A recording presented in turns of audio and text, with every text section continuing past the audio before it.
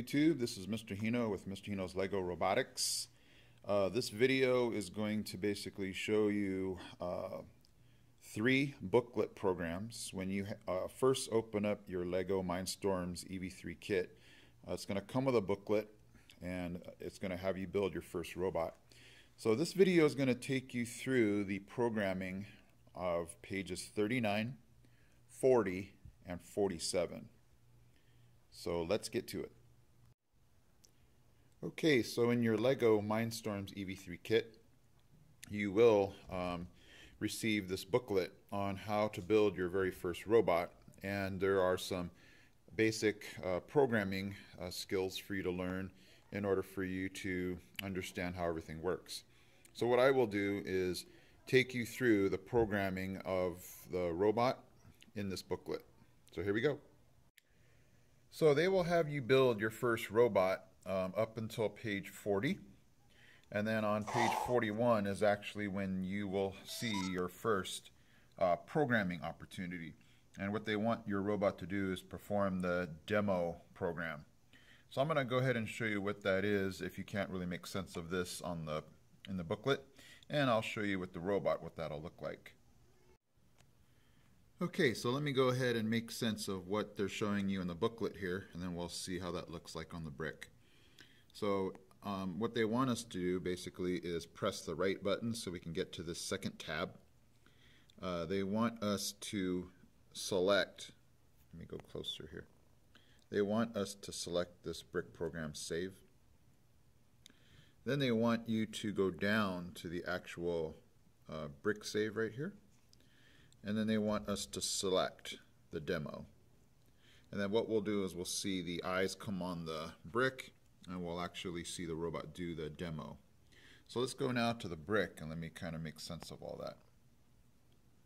So again, they right now I'm on the first tab. They want us to go to the second tab, which is where your saved programs are going to be.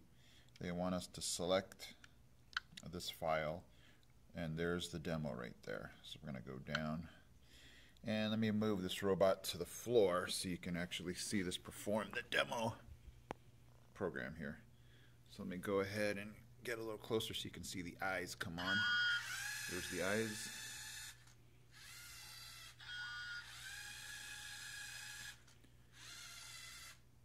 And that's all they want. They want your robot to go forward, spin, turn around and come back, and then spin kind of in the, in the position that you started with.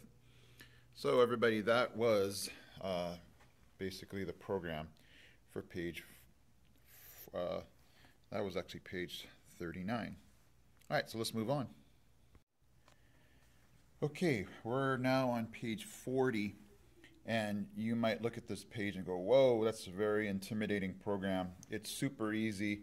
The reason why it looks complicated is they're showing you basically all the ups and downs and lefts and rights on where to press so I'm going to go ahead and take this page, page 40, and make this a whole lot simpler. What basically they want you to do is they want you to program your robot to do a two second spin right in place. So I, will let me go ahead and take this kind of complicated program and make it look simpler.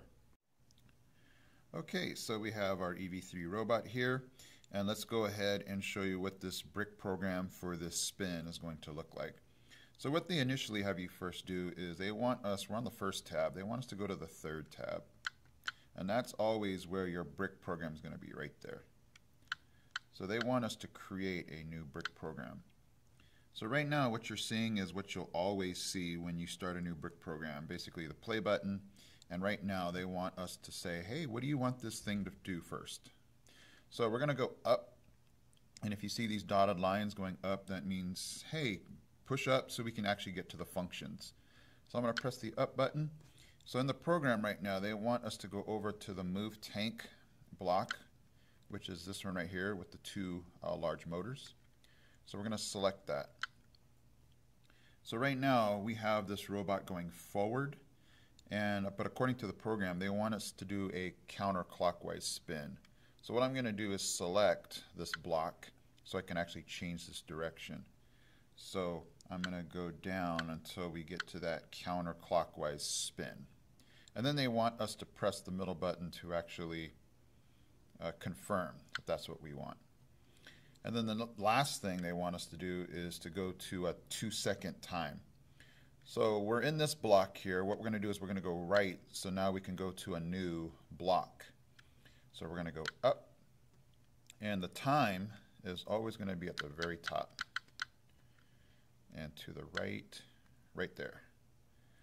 So that clock, we're going to go ahead and select it. And um, anytime you select time, it's going to default to two seconds. So it's already at two seconds. So now let's go back to the beginning. as soon as I hit this middle button, our robot will spin counterclockwise for two seconds and it will be done. So let's go ahead and bring this to the floor here. And let's go ahead and just run that. Okay, so there's the two second counterclockwise spin, and that was for page 40. Let's move on. Okay, so I'm going to make this the last page of this video, and we'll continue this on another video. Um, when, when you continue after that page 40, they're going to continue to have you build um, and put a ultrasonic sensor on. So what I'm going to quickly do is show you the program for page 47 with the ultrasonic uh, sensor. And then I'll quickly go through this program right there and show you what that'll look like. So here we go. So on your brick, they want you to program a forward, use your ultrasonic sensor. And that is, again, if your ultrasonic sensor senses something uh, within 30 centimeters, it's going to have your robot stop. So let's go ahead and go to that. So again, if you're on the first tab, go to that third tab. And then we're going to go down to brick program. Okay, so I'm going to go up. I'm going to go to my move tank. It will default to going forward, so I'm going to leave it that way. I'm going to go up again and I'm going to find I'm going to find that ultrasonic sensor block which is right there. My students call it the WALL-E eyes block.